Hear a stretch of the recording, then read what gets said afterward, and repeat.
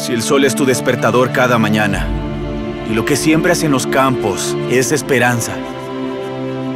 Si te ilusiona trabajar para heredarle paz a tus hijos.